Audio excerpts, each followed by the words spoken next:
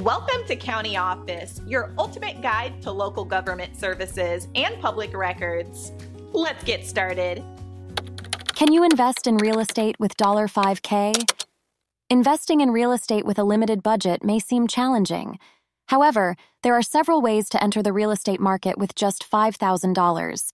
One option is real estate investment trusts, REITs. REITs allow individuals to invest in real estate without owning physical properties. They are companies that own or finance income producing real estate across various property sectors.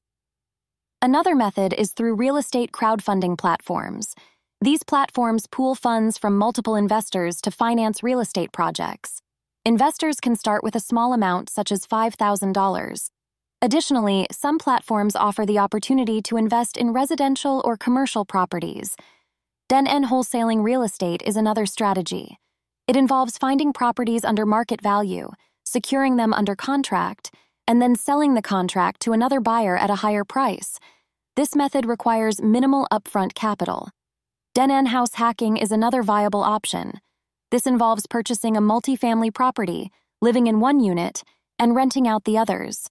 The rental income can help cover the mortgage and other expenses, and, and it's also possible to invest in real estate through partnerships. By pooling resources with other investors, you can collectively purchase and manage properties.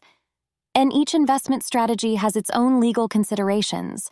It's crucial to understand the regulations and potential liabilities involved. Consulting with a real estate attorney can provide valuable guidance.